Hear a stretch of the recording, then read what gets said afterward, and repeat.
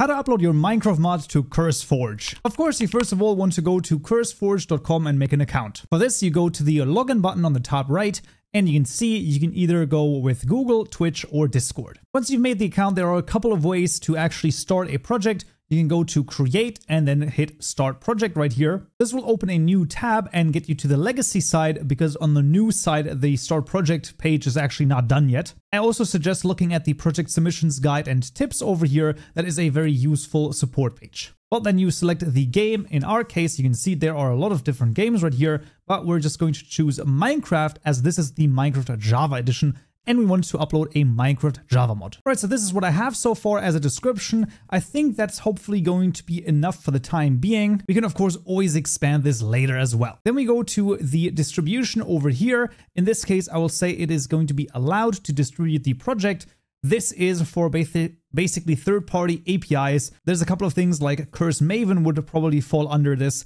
and a few other things. Overall, you shouldn't lose too much thought of this. It's basically just going to be allow or if you're like unsure, you can also say do not allow Either is totally fine. You can also learn more on the link right here. Then when it comes to the project license, that's a little bit more complicated.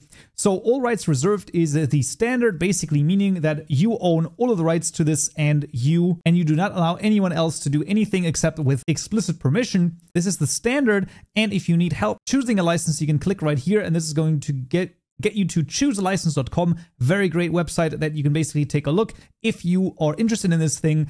Otherwise, you can either just leave it at all rights reserved, or if you want other people to look at your mod and look at your source code, for example, you can say MIT license. In this case, I will choose the MIT license as I prefer this, but once again, you can take a look at all of the other ones and also the chooselicense.com, great website to basically take a look at what you want to choose. Then we need to pick a primary category. In this case, you can see there are quite a few different categories. My primary category is definitely going to be food. And then down here, we can select up to five additional categories so let's say this is also going to be, this is also going to be, I think magic is actually fine. You could make an argument about adventure and RPG, although I'm a little bit, I'm not quite sure, but I'm just going to add this. I think that that's okay. Then we want to add a logo over here. The ratio must be one by one and the minimum size has to be 400 by 400 pixels.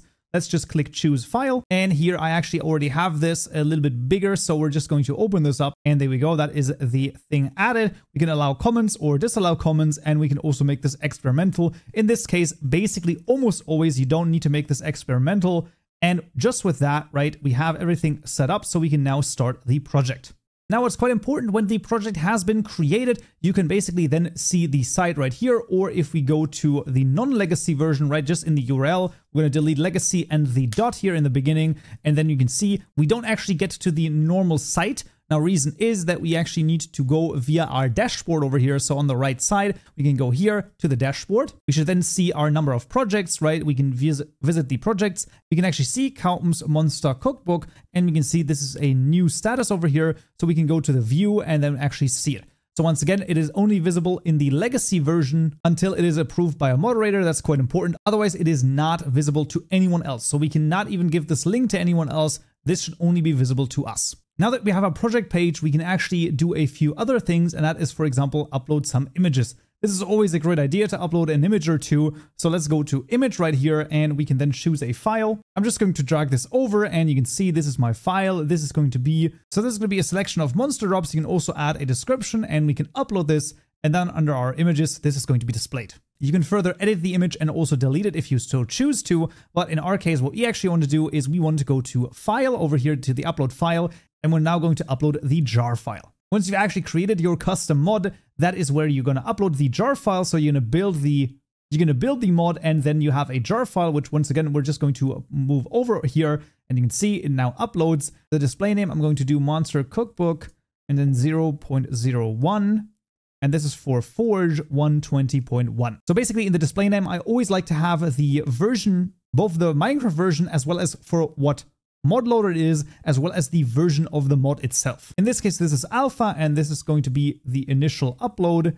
So usually in the changelog, you would add, you know, what changed, if you added any items, if you changed any parameter parameters or anything like that. In this case, because this is the first upload, we're just going to add initial upload here. And then we also wanted to say, hey, where is this supported? Well, in this case, it is server and client. This is for Forge specifically. It might also work in NeoForge. However, because I've not tested it, I'm only going to select the one that I absolutely know it works for. The supported Java version is 17, and this is for 120.1. And there we go. We then want to go all the way down to submit file. And once we've hit this, this is the moment when it's actually going to be sent off to a moderator and they're then going to, well, basically test it. So we're going to submit file right here. And what you will find then is that this is, in this case, alpha over here.